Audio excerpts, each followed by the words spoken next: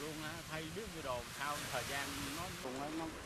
Tàu vỏ thép BV 96779 TS của ngư dân Phạm Ngọc Hoàng, thành phố Vũng Tàu vừa hạ thủy, đưa vào sử dụng tháng 4 năm 2016. Nhưng hiện nay, tàu này xuống cấp nhanh, vỏ thép một rỉ, máy tàu yếu phải nằm bờ, còn ông Hoàng gánh khoản nợ 10 tỷ đồng. Tàu này được đóng với giá gần 9,5 tỷ đồng. Ông Hoàng đầu tư thêm gần 3 tỷ đồng mua ngư lưới cụ. Tháng 4 năm 2016, tàu được hạ thủy và đi chuyến biển đầu tiên nhưng đến giữa năm 2017, tàu đã xuống cấp, không thể tiếp tục đi biển. Nguyên nhân là công suất máy nhỏ, vỏ sàn tàu bị xuống cấp. Tháng 10 năm 2015 thì anh đi khai thác khoảng 12 tháng là bắt đầu sự cố là máy đi không được nữa, bắt đầu anh mới đầu bờ.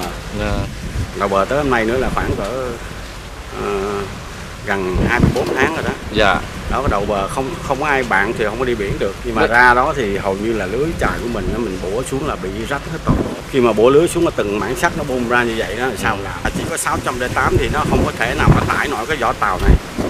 Cho nên không có chạy nổi cho nên anh bạn không anh không có đi biển nữa. Tàu của ông Hoàng dài 27 m, rộng 6,5 m, nhưng công suất máy chỉ 608 mã lực. Sóng gió cấp 2, cấp 3 là tàu không di chuyển nổi.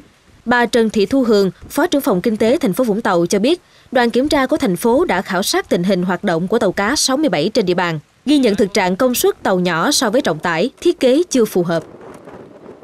Qua đợt khảo sát ờ, tháng 7 năm 2018 của ờ, bên ủy ban thành phố về cái tàu đóng mới theo nghị định 67 thì riêng cái trường hợp của ông ờ, Phạm Ngọc Hoàng là cái tàu chủ tàu của BV 96779 thì có một số bất cập do là đây là cái tàu mà vỏ thép đầu tiên của thành phố cũng như là của tỉnh. Nên là nó có một số bất cập. Thứ nhất là về cái máy công suất máy công suất máy thì theo cái phê duyệt nó chỉ có là 608 cv nó rất là nhỏ so với lại cái trọng tải của tàu. Thì khi mà gặp cái luồng cá hay hay là đánh bắt à, thì thì nó sẽ không có hiệu quả tàu nó chạy rất là chậm. Cái thứ hai là việc thiết kế thân tàu á, thì chưa phù hợp hầm nó nóng và nó thiếu khoảng nó thiếu cái thoáng cái không khí. Cái thứ ba là nó có cái hiện tượng là dỉ xét ở cái sàn.